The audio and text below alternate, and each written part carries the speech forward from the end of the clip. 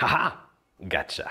Hello and welcome to the volume 4 of my series Billets for the Modern Mind Reader. In this volume, I'm gonna first teach you a which hand truth teller or liar effect. And yes, you can do this kind of routine with billets. Then I'm gonna teach you a forgotten gem from Theodore Annemann called Dead Name Duplication, where you appear to read directly the mind of a spectator.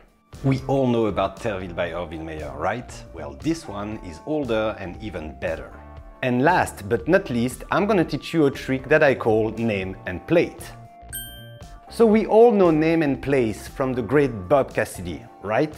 And it is a great trick. I mean, it's awesome, it's legendary. But what if you could do it completely impromptu, only borrowing two business cards?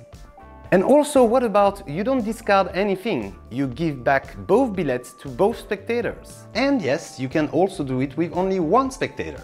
Are you with me now? And I will not only teach you one handling, but three. So please sit back, relax and enjoy, we've got billet work to do.